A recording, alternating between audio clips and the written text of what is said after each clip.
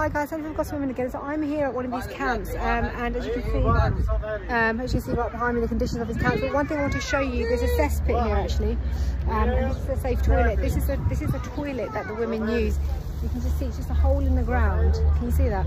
In there, and it's just literally covered with just blankets. It's just um, they're just trying to make it work. I mean, I don't know how they're trying to make this work, but somehow trying to make it work, and that is toilets. So guys, we're building concrete safe toilets for these women so they can go to the toilet safely in a sound manner and have a, a level of dignity um, about them.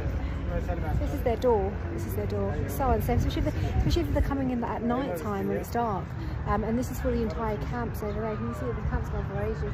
The conditions in this camp is quite bad. Um, so guys, we are.